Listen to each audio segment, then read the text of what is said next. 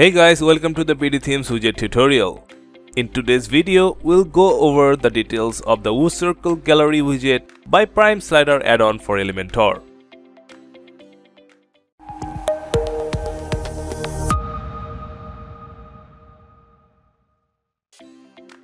Let's drag and drop WooCircle inside Elementor editor page. What you see is the default interface of the widget.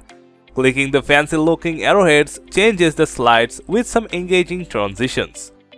From the options, the first scroll bar here lets you change the total height of the items. You can adjust it to fit inside the landing page. With image size option, dimensions of all images within the display can be changed.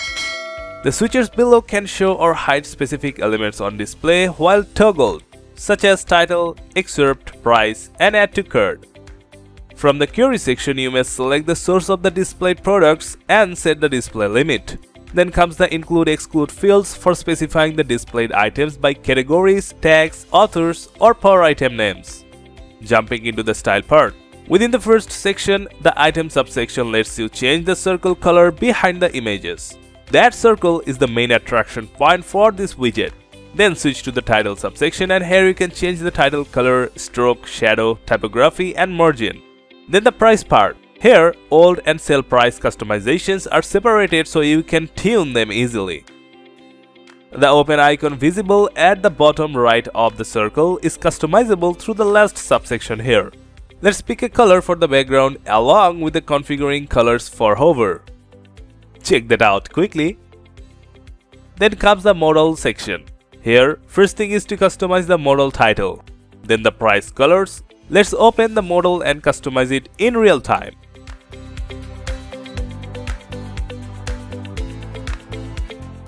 The close button can be customized in the same way as the open button. Then scroll down below and change the colors of the add to cart button. Don't forget the hover settings here. The quantity counter comes with color, border, padding, shadow and typography options that you can customize. Lastly, let's change the navigation arrow color and hover color with a customized arrow size. Good. Now have a look at the finished interface. Your customers are going to love this. That's all for this video. Please like, share and subscribe to this channel to receive updates on new tutorials. Stay safe and see you next time.